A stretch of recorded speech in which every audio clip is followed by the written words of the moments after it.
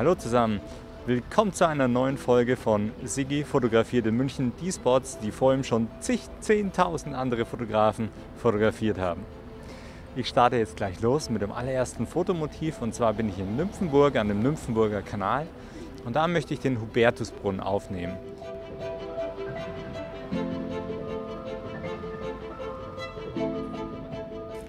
Und zwar habe ich jetzt die Kamera genau mittig aufgestellt, hier oben auf der Brücke. Damit kann ich jetzt super gut vorschießen auf den Hubertusbrunnen.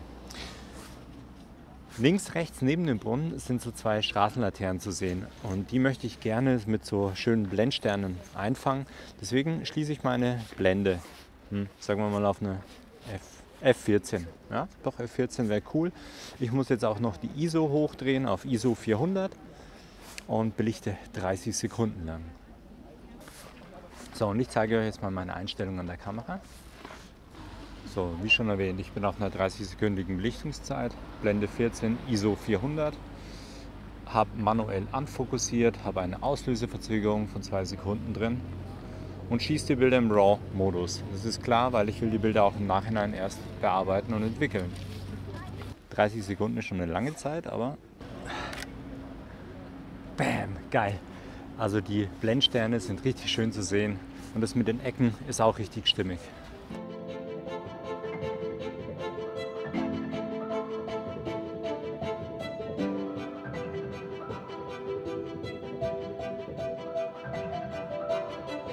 Nichtsdestotrotz versuche ich jetzt trotzdem mal auf einer kürzeren Brennweite zu shooten.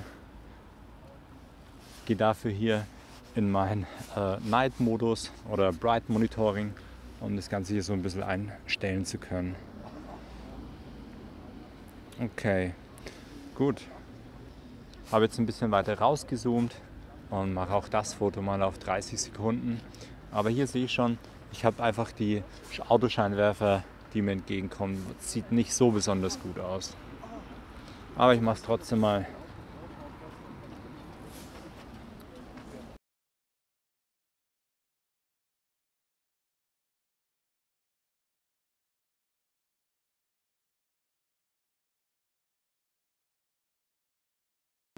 So, und mit dem, mit dem Tamron bin ich massiv flexibel und jetzt zoome ich mal komplett ran auf 180 mm.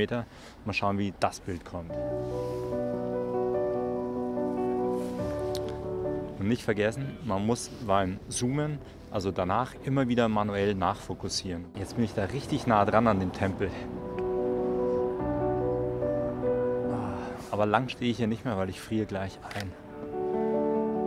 Wow. Kann sich sehen lassen. Jetzt geht's weiter zur nächsten Location.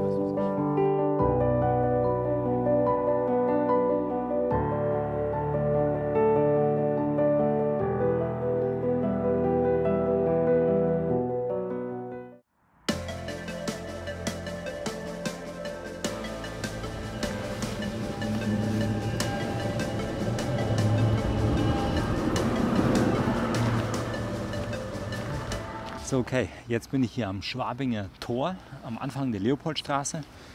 Und das hier ist eine relativ neue ähm, Tramhaltestelle.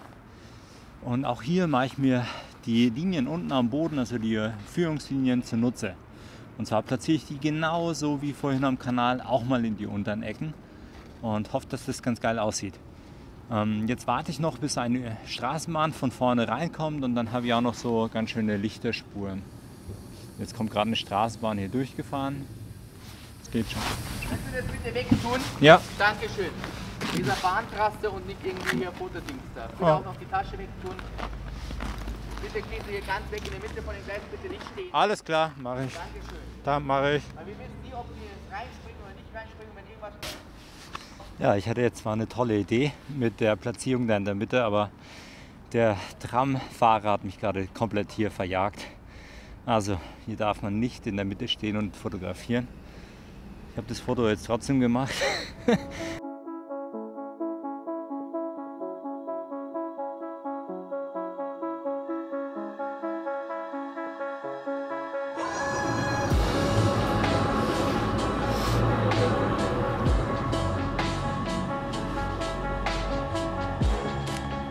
Ich bin jetzt ähm, zwei Meter weiter nach rechts gerutscht mit meinem Stativ und warte jetzt auf die nächste einfahrende Tram, ähm, um diese schönen äh, ja, Fahrspuren, Lichtspuren, ich weiß auch nicht genau, wie man die nennt, einzufangen. Und wenn die jetzt von hinten so kommt, die Tram, ist das eigentlich mein Ziel, die dann auch gescheit aufzunehmen. Jetzt mache ich auch gerade zeitgleich ein Bild von der Tram, die gerade reingefahren kommt. Sieht auch super modern irgendwie aus. Und da geht es jetzt eigentlich darum, hier an diesem Spot in der Nacht bei minus 10 Grad oder am Abend bei minus 10 Grad hier irgendwelche schönen Lichtspuren und gute Architektur irgendwie einzufangen.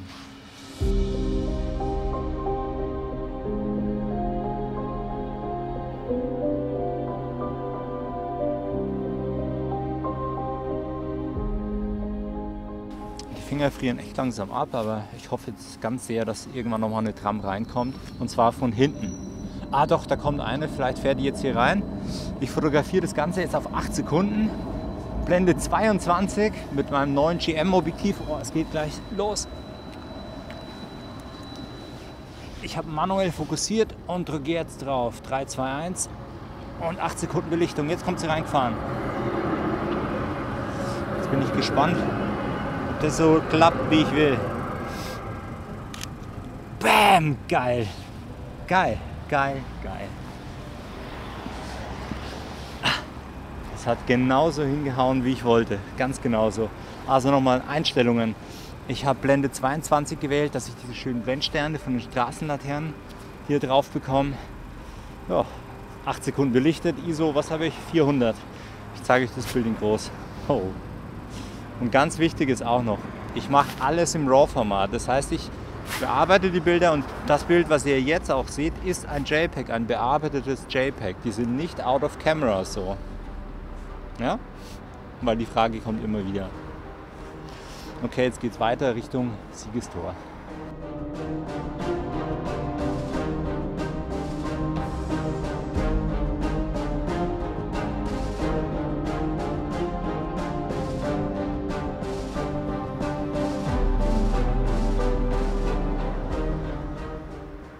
Ich habe jetzt nochmal das 1635 G Master drauf.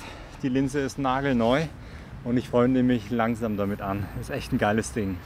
Ja, und jetzt hinter mir, hinter mir steht der Running Man hier an der Leopoldstraße. Den werde ich jetzt aus der Hand aufnehmen. Ich möchte jetzt hier nämlich kein Stativ aufbauen, weil ich nicht genau weiß, wie viele äh, Sekunden Zeit ich hier habe, bevor ein Security kommt und mich hier weg, äh, wegjagt. Oh, das ist eine schöne Perspektive hier mit dem Schnee. Da haben wir jetzt auch mal Autofokus. Mal schauen. Oh, die Perspektive kommt geil. Ich muss noch ein Stückchen weiter zurück. Okay, cool. 3, 2, 1. Bam! Ich drehe jetzt im nächsten Bild mal die ISO wirklich hoch. Mal sowas auf 4000 und schließe die Blende auch ein bisschen. Äh, ist für mich stimmiger. Jetzt schauen wir nochmal, ob wir es gut hinkriegen. So. 3, 2, 1, boom. Boom. Ich habe die Blende halt jetzt ein kleines bisschen mehr geschlossen, um einfach ein schärferes Bild hinzukriegen. Gut, jetzt gehen wir mal weiter. Das war jetzt der Running Man.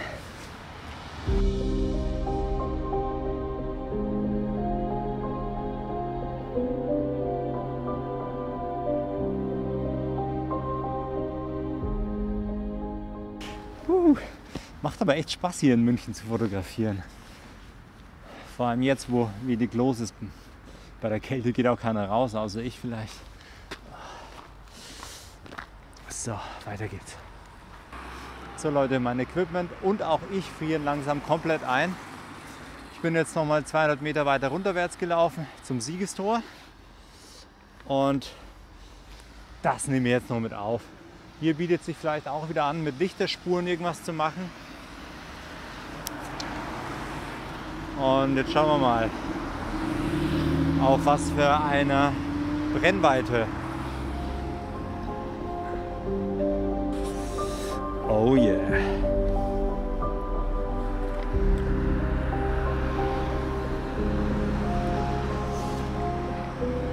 Ich habe eine Position gefunden. Ich musste jetzt ein ganzes Stück weiter vor, weil ich sehr, sehr weitwinklig wieder fotografieren will. Mache das Bild jetzt auch mehrere Sekunden lang, um diese schönen äh, Autospuren mit drauf zu kriegen. Oh, erstmal hier ein bisschen umräumen. Weil ich glaube, in München muss man auf sein Equipment aufpassen. Die Leute zocken hier, glaube ich, schon eher. Und wenn ich hier so abgelenkt bin, ähm, ja, ist es besser, das Equipment im Blick zu haben. Hier möchte ich jetzt auch wieder die schönen Laternen als Blendsterne aufnehmen. Das bietet sich an. Und schaue jetzt erstmal, dass ich mittig stehe. Gehe vielleicht noch ein Stückchen näher ran. Wow, das sieht schon echt klasse aus. Und ich muss ja sagen, gerade die Blendsterne, die fand ich jetzt bei meinem Samyang 14 mm nicht ganz so schön. Das äh, G-Master kann da glaube ich echt mehr. Aber mal gucken, wie es wird. Jetzt fokussiere ich das Ganze mal schön scharf. Sieht gut aus. Jetzt gehe ich auf Blende irgendwas 20, sowas. Oh, da habe ich jetzt echt Bock drauf auf das Foto. Das ist wieder ganz interessant. Man muss halt hier so ein bisschen die Ampelphasen im Blick haben. Und der Schnee reflektiert schon unheimlich jetzt hier in der Nacht. Am schönsten wäre es jetzt, wenn hier direkt vor mir ein Auto einmal durchfährt. Das, das fände ich am schönsten.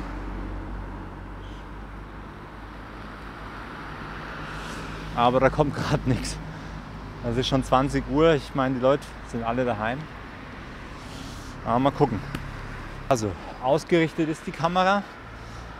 Ich stehe jetzt auf Blende 18 mit einer ISO 160. Aber es kommen einfach nicht viele Autos von vorn. Und dabei ist es noch arschkalt, ey. Und da zu warten. Mal schauen, für das Foto muss es jetzt echt mal sein. So, die ersten Autos kommen jetzt durchgefahren. Jetzt mache ich das erste Bild. Eins ist hier durchgefahren, gut. geil! Cool, ich habe die Bremslichter von einem vorbeifahrenden Auto drauf bekommen. Das war der erste Shot. Weiß gar nicht, ob ich noch einen machen soll. Jetzt machen wir mal einen. Vielleicht kommt ja aus Zufall noch mal ein Auto hier durchgefahren. Na, das soll nicht sein, schade. Aber hey, der erste Shot war es schon. Schau es mir mal kurz an.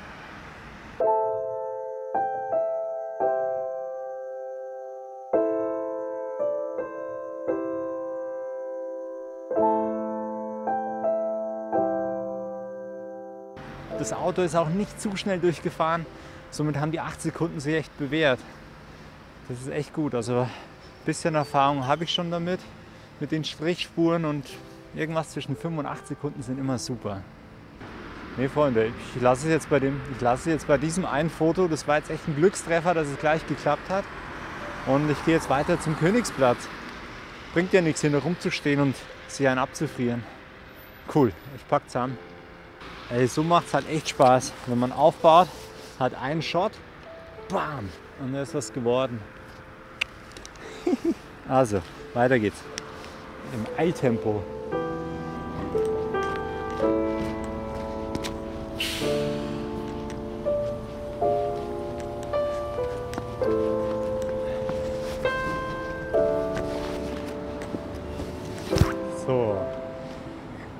Jetzt ist es auch an der Zeit, wirklich mal Danke zu sagen. Danke an euch.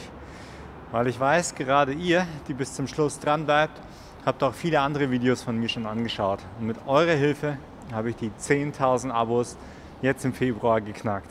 Vielen, vielen Dank. Das war ein hartes Stück Arbeit. Ich habe zwei Jahre dafür wirklich Tag und Nacht eigentlich gearbeitet.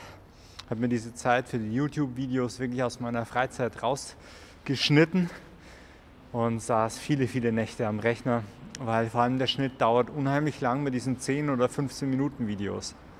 Aber die ganzen vielen, vielen positiven Kommentare haben mich einfach sowas von motiviert, da durchzuhalten, weiterzumachen. Und so stehe ich auch hier bei minus 8 Grad oder sowas am Königsplatz und nehme dieses Video auf. Aber das soll jetzt der allerletzte Shot sein für heute. Und ich bin schon wieder ganz heiß auf mein 1635 G Master. Das ist echt eine geile Linse, weil damit habe ich echt die Möglichkeit, auch Bilder jetzt am Abend teilweise auch aus der Hand zu machen, weil die 2.8er Blende ist einfach richtig, richtig gut. So, jetzt hier am Königsplatz. Äh, da steche ich mir halt diese Säulen, die ihr hinter mir seht, voll ins Auge.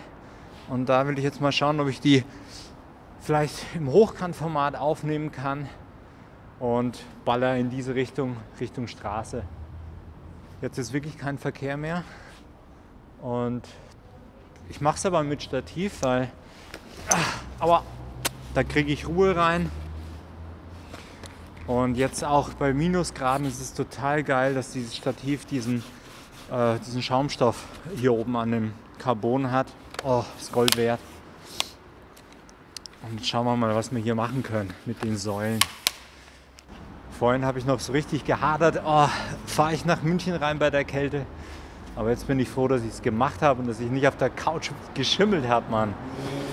Ja, und auch mein Tipp, wie schafft man 10.000 Abos auf YouTube? Ist ganz einfach. Man muss mehr produzieren, anstatt konsumieren. Also, eigentlich easy. Man muss es nur machen und durchhalten. Okay, was können wir hier machen? Auf 16 mm. Okay. Okay. Okay, okay, okay. Was machen wir denn da? Hilfe! Hilfe, ist das krass. Oh, da weiß ich jetzt gar nicht, ob das so eine gute Entscheidung hier ist. Ja, extrem schade ist, dass ich die Straße mit den Laternen einfach nicht schön aufnehmen kann. Ich könnte jetzt hier eigentlich nur die Säulen fotografieren. Nee. Leute, so ist es. Der Spot, den habe ich mir besser vorgestellt. Na, das schaut hier nach nichts aus. Wisst ihr was? Bevor ich hier irgendein 0815 Foto mache, mache ich gar keins. Und das gehört halt auch dazu. Hier fehlt mir jetzt irgendwie die Perspektive. Irgendwie passt irgendwas nicht. Vielleicht bin ich einfach nur auch zu durchgefroren. Aber das sollte von mir hier in München gewesen sein. Das war Teil 2. Wenn ihr Bock habt, noch mehr von München zu sehen, schreibt es unten in die Kommentare. Dann mache ich noch ein Video. Aber jetzt verabschiede ich mich von euch. Gebt mir gerne ein Like für das Video oder abonniert meinen Kanal für die neuen Zuschauer. Jetzt sage ich Servus, euer Sigi vom Ammersee, heute aus München.